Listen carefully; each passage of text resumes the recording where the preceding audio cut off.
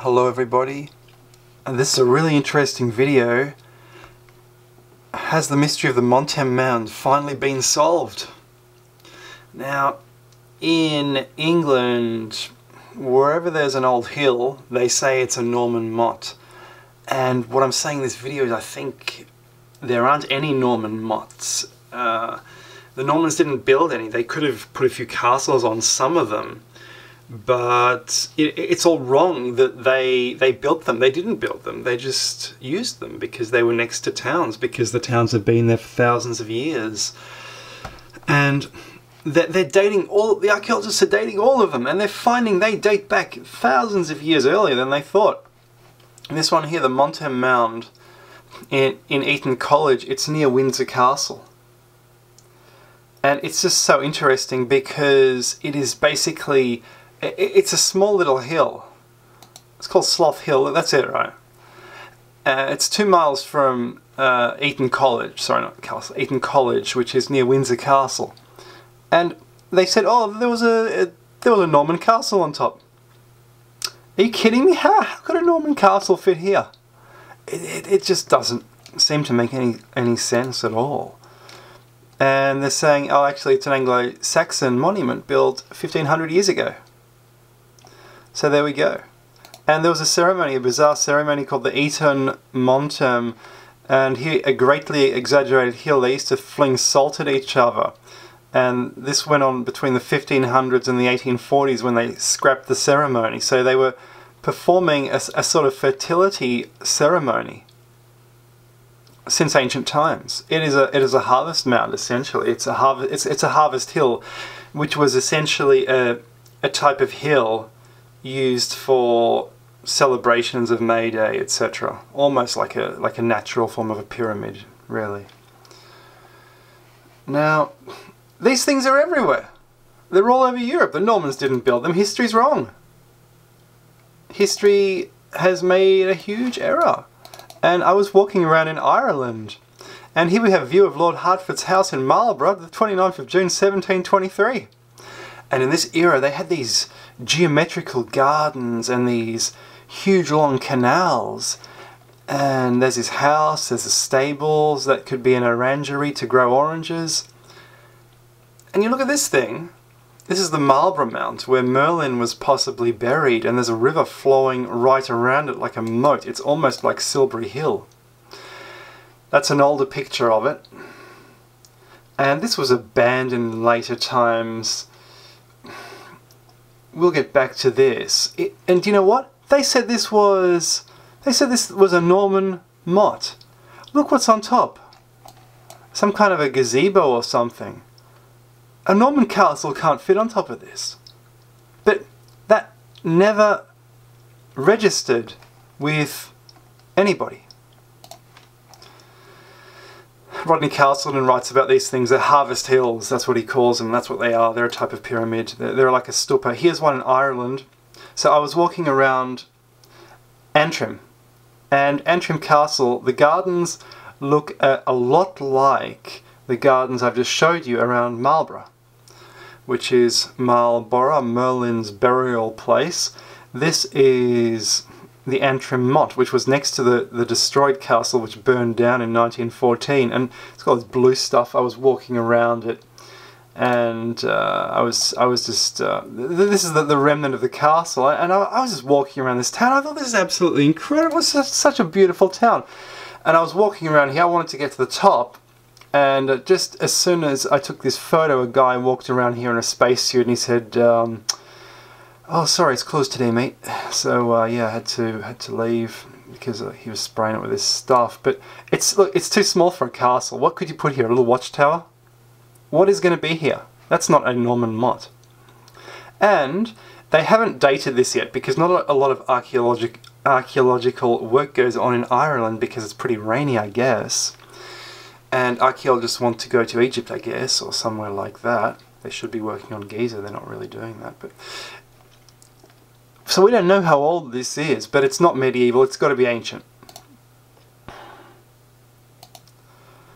And as you can see, Ireland is uh, incredibly beautiful. It is so beautiful. But yeah, as you see, it, it is a it is it is a place for ceremonies. And that's another one. That's the Dane John Mound, seen from the Canterbury city walls. And there's similar stuff in Poland to this, very similar stuff. And there were no Normans in Poland. Look, this is Windsor Castle. We know that Slough Mound at uh, Eton, Eton College is not a Norman motte. And how about this? This is a Norman motte in the Windsor Castle. I'm saying this is a burial mound. Windsor Castle, the centre of it, is built on top of a burial mound. There's an ancient burial mound underneath. They plunked a castle on top. This is the Kopiec Kościuszki in Poland, which means the mound of, of uh, General Kosciuszko, who organized a peasant army which in one battle beat the Russians. So the people were so happy they allegedly built this. But I, I kind of think that they converted this from an ancient monument. All these mounds are lined up. Again, this is um, this is Merlin's Mount now in Marlborough. This was the first photo I showed you at the start. This lord's property, and essentially, it looked like this in the past, but it's been transformed. This here was the, the, the goddess Kunti named uh, for female genitalia and if you look at the rivers, they're all named after this goddess. If you see a river Kennet, they're, they're named uh, after for fertility reasons essentially, and they are associated with mounds like this, with ancient sites. And look at this site. Compare this to the uh, to to what it looked like in the past. It's all overgrown. This is in Marlborough College. It's a girls' school. This is a picture from the top. That's Merlin's Mount there. And as you see, it's right next to a village, so or, or, a town now, so of course the Normans might have put a castle there if they wanted to. But guess what?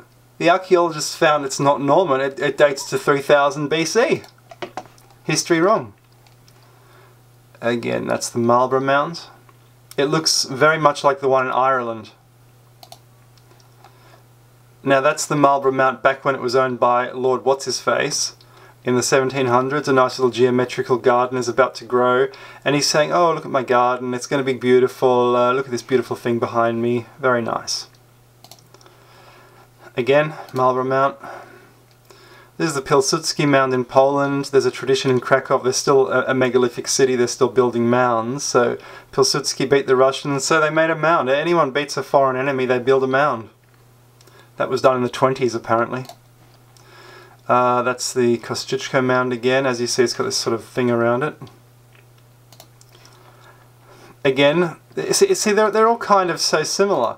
This is the, uh, and these are all kind of like grass turf pyramids. That's what they are. They're pyramids. They're not Norman mottes. They're pyramids.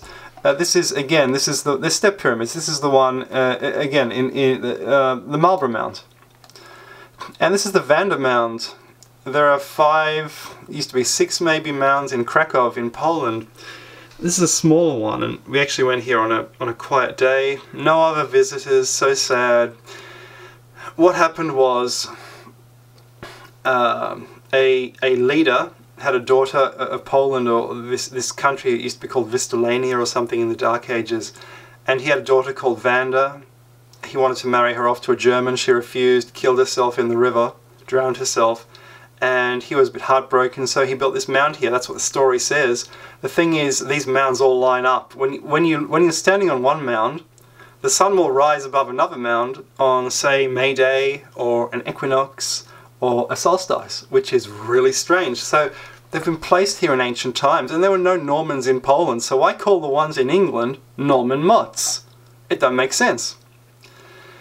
Uh, this is is is this Windsor Castle? I believe it's Windsor Castle, and it's built on this enormous mound.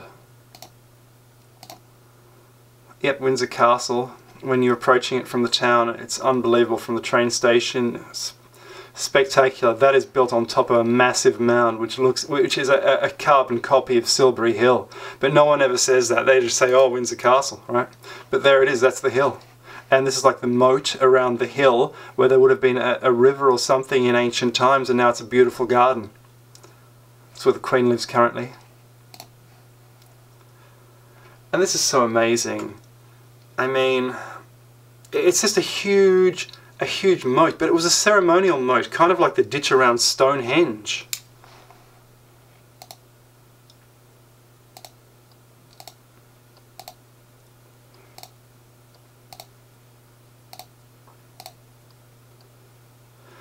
By the way, don't get in the way of any of those red coat guards because I saw them basically uh, push a tourist over and it was a bit weird. She just wanted a photo and she ended up sprawled out on the ground, you know. Just, uh, be careful with those guys. And this is looking off the back of Windsor Castle. The whole damn thing is on a massive hill. There's this huge ditch down here. It's just like at the Serpent Mound in Ohio. Uh, just behind it, there's this huge, it, it's on top of a cliff, and then you're looking out towards Eton College. So you'd be looking out towards that slough mound. So you have a mound city in Windsor a mound city in Windsor, just like you have a city of mounds in Krakow, where there are lots of these mounds. It's the same sort of Celtic tribe that would have constructed these, and this was their religion, not Norman Mottes. That's Eton College over there, two mile. This is the view from Win I took from Windsor. This photo, it's, it's absolutely unbelievable.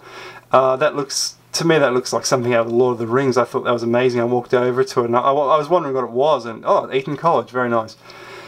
And I tried to get on a tour but they didn't let me because I wasn't an employee or something of somewhere. Anyway, somewhere there is, is another mound. And you would look from one mound to another and that would point your direction. That's a ley line. Guys, thanks very much.